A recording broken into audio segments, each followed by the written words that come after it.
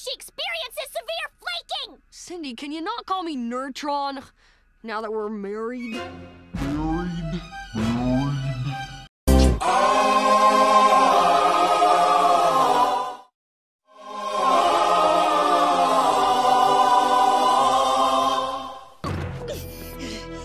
Wow, you just screamed for four minutes, Jim. I'm both impressed and disturbed.